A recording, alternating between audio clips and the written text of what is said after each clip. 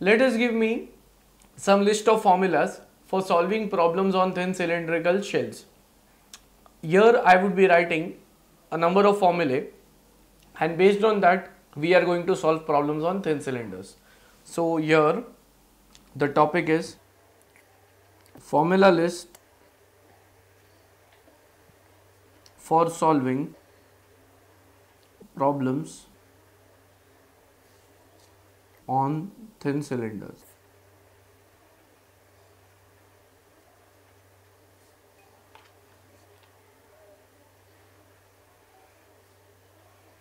So here I would be writing some formulas which are very important from the subject point of view and as well as for solving the problems. So the first formula which I have that is hoop stress or you can say circumferential stress both are same hoop stress is given by PD upon 2T the first formula and the unit will be Newton per mm square. Here what is PD and T that I would be explaining very soon? Next longitudinal stress.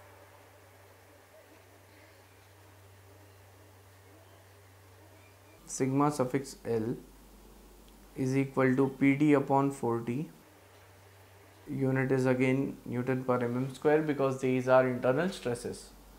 Next shear stress or you can say maximum shear stress. I will write it as tau max is equal to PD upon 8T apart from these formulas we have hoop strain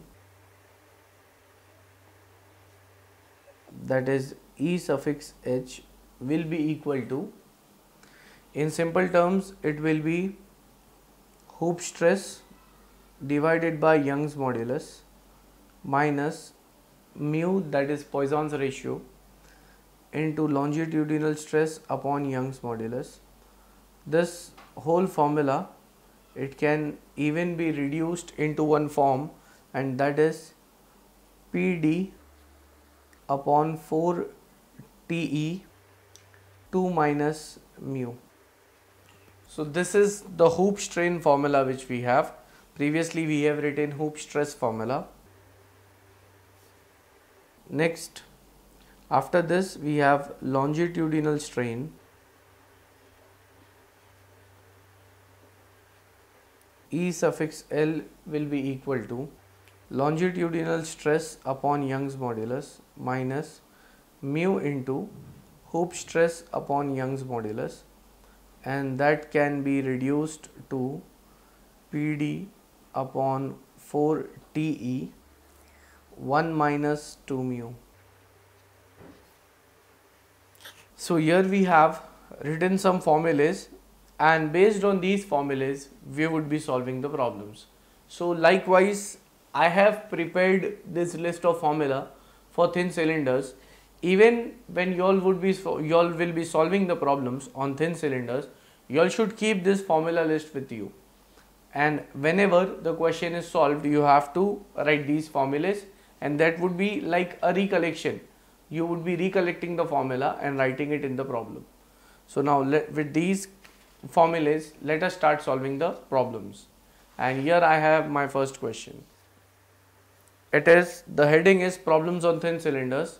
The first question is, a closed cylindrical vessel made of steel plates 4 mm thick with plain ends carries fluid under a pressure of 3 Newton per mm square full stop. The diameter of the cylinder is 250 mm and length is 750 mm. Calculate longitudinal and hoop stresses in the cylinder wall and determine the changes in diameter, length and volume of the cylinder. Full stop. Take Young's modulus 2.1 10 to 5 Newton per mm square and mu is equal to 0.286. This mu it is also called as Poisson's ratio or you can say the ratio of lateral strain to linear strain that is mu. Now the problem is given in front of us. Whatever is specified in this problem, we will write that in the form of a data. This is our first problem on thin cylinder.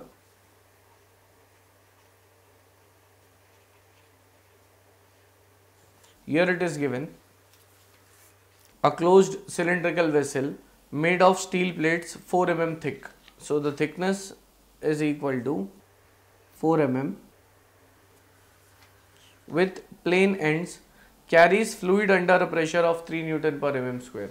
So internal pressure of the fluid is 3 Newton per mm square.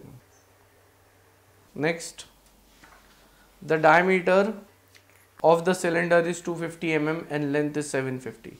So small d internal diameter 250 mm and length is equal to 750 mm. Here the question is calculate longitudinal and hoop stresses in the cylinder wall. The first part we have to calculate how much is longitudinal stress, hoop stress. Next and determine changes in diameter, length and volume of the cylinder.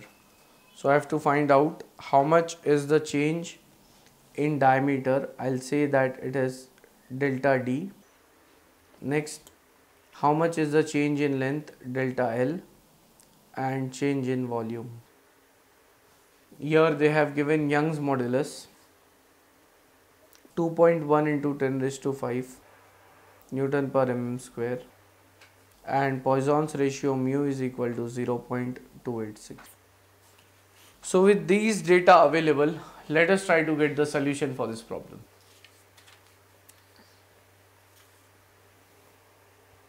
The first question is longitudinal stress. Now in the data, first let me explain it to you that how the cylinder will look like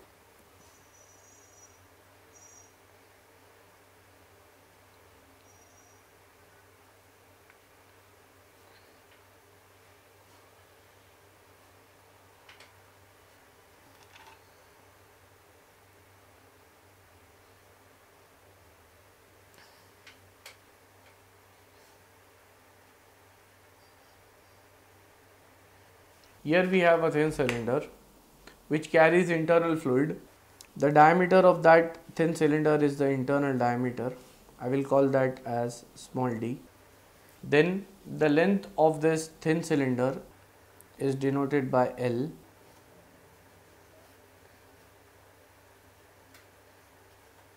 The thickness is given by small d. Now this thin cylinder would be breaking into two parts based on either it is circumferential or hoop stress. The breaking would be different. So first, since we are considering longitudinal stress, I will say that since longitudinal stress is given by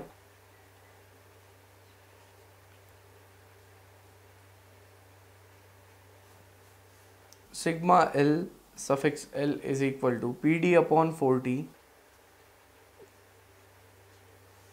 where P is the internal pressure and in this problem P is given as 3 the internal diameter is 3 internal diameter is 250 actually it is 250 4 into thickness is 4 mm so if I calculate from this I will get longitudinal stress as the answer which I have calculated it is 46.88 Newton per mm square.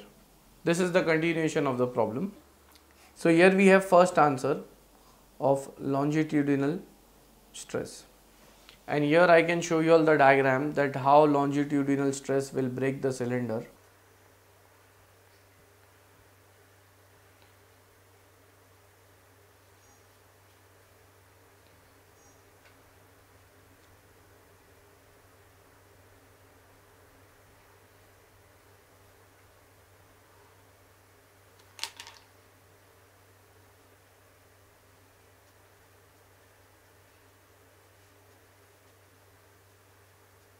So in longitudinal stress which is developed, it will be breaking if the stress value exceeds the resisting capacity of the cylinder walls it would be breaking the cylinder into two halves along its length.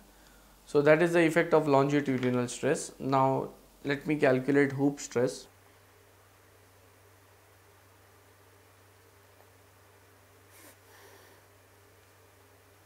Now since hoop stress is given by sigma h is equal to PD upon 2T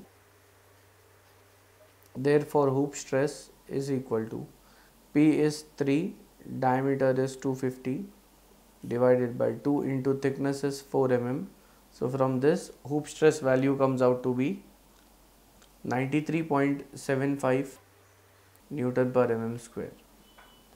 This will be the second answer and how the cylinder would be breaking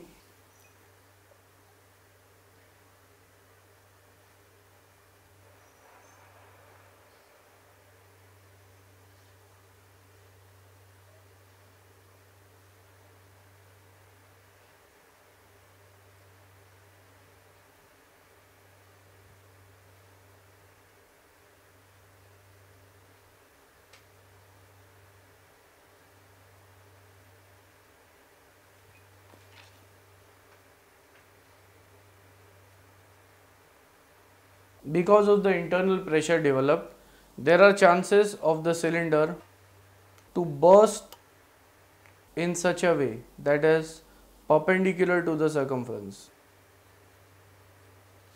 That is, instead of breaking the thin cylinder lengthwise, it would be breaking along its diameter. So here we have hoop stress and longitudinal stress. Answer 1 and answer 2 is completed. Next. The next question in this problem is we have to find out change in diameter. For change in diameter we would be calculating hoop strain. I'll say that since hoop strain is given by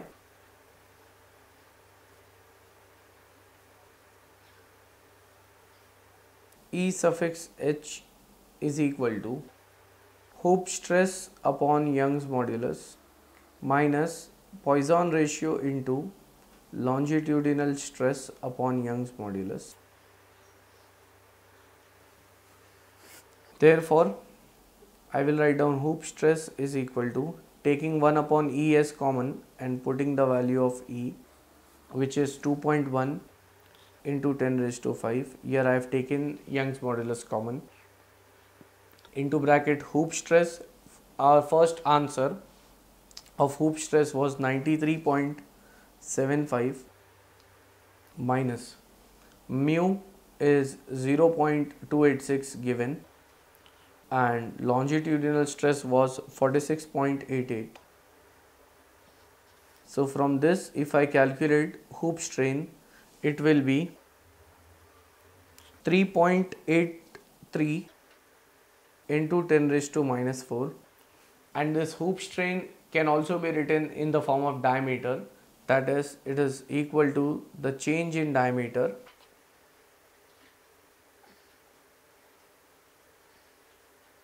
upon original diameter.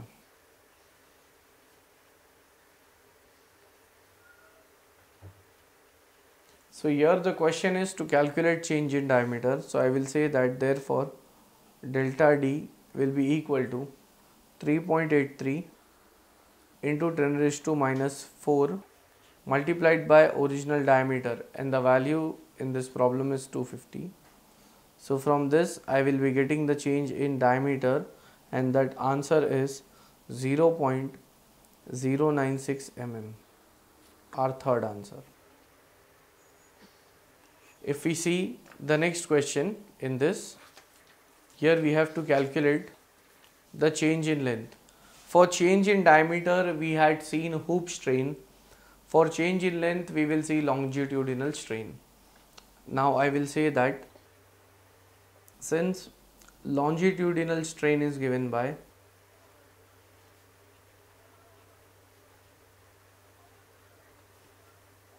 it will be E suffix L is equal to longitudinal stress upon Young's modulus minus mu into hoop stress upon Young's modulus Therefore, longitudinal strain will be equal to longitudinal stress.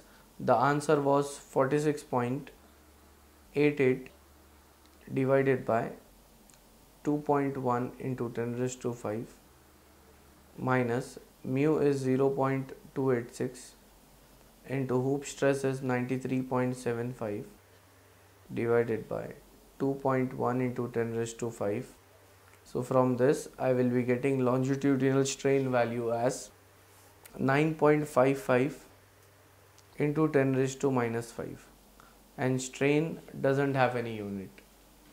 So this longitudinal strain I can say that it is also equal to change in length upon original length.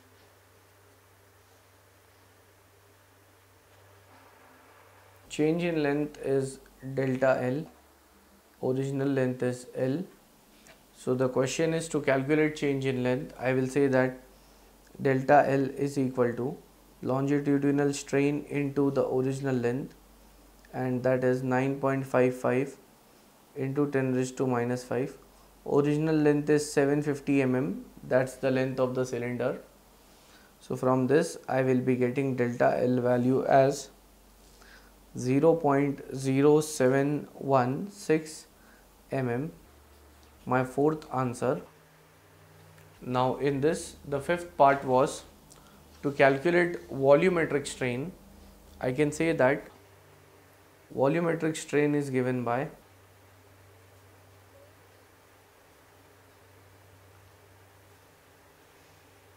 E suffix V is equal to hoop strain plus longitudinal strain.